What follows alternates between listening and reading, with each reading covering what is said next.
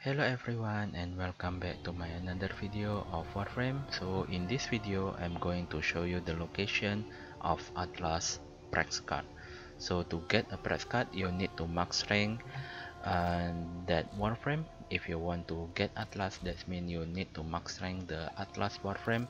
If the frame has the prime part then you need to level up the prime also so if you uh, max rank both the normal and the prime one that means you can get the Prex card from the Leverian. In atlas you need to go to rambler section of the Leverian then the card is in the left hand of the right side of the rambler okay that's it. So easy to locate. It's not like another card like Nova is quite difficult.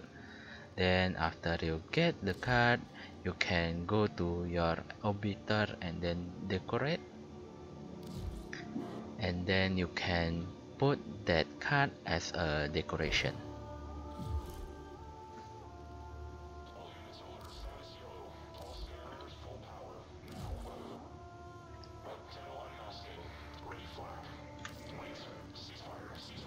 okay. That's it.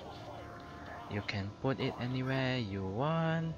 And that's it for Atlas Prex card. Thank you for watching. I will see you guys again in my next video. Bye bye